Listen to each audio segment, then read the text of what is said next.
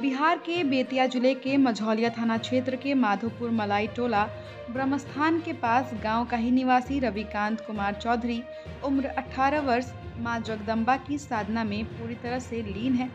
रविकांत दशहरा भर पूरे नवरात्र के नौ दिन अपने सीने पर इकतीस कलश स्थापित कर बिना कुछ खाए पिए माँ की भक्ति में लीन रहा है। उसने अपने सीने पर स्थापित कलशों में जय भी रोपी है। और इस साधना में उसे कोई परेशानी ना होने का दावा किया जा रहा है। इसको लेकर लोग कई तरह की बातें भी कर रहे हैं। आपको बता दें कि ग्रामीणों ने बताया है कि माँ जगदम्बा का भक्त रविकांत दिन और रात मिलाकर मात्र एक से दो चम्मच पानी ही पीते हैं। वह पानी के सहारे नौमी तक माँ की भक्ति में लीन रहेंगे। जगदम्बा माँ के भक्त रविकांत कुमार चौधरी ने बताया कि वह कलश अपने शरीर पर तीन वर्षों से लगातार स्थापित कर रहे हैं। वह माँ का भक्त हैं और माँ को अपने शरीर पर बुलाते हैं। माँ आकर उन्हें आशीर्वाद देती हैं।